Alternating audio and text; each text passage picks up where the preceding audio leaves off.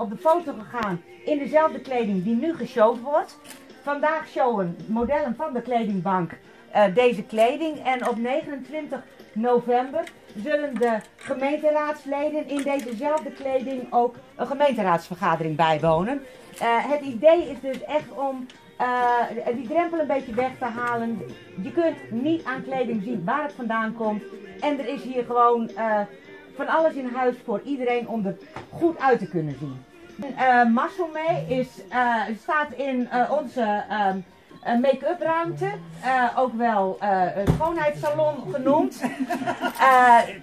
geweldige um, outillage daar. U kunt lekker ontspannen achterover liggen.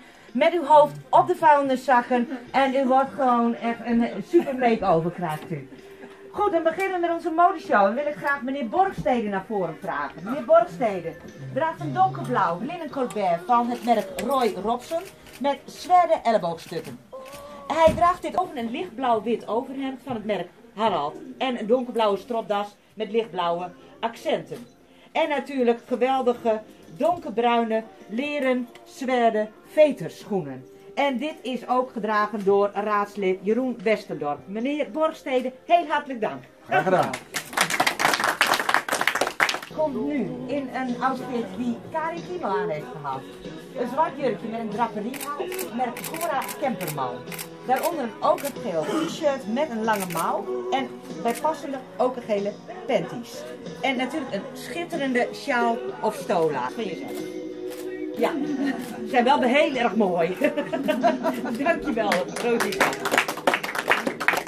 Hier een kort olijfgroen jasje met aquakleurige en beige accenten merk Tootsie.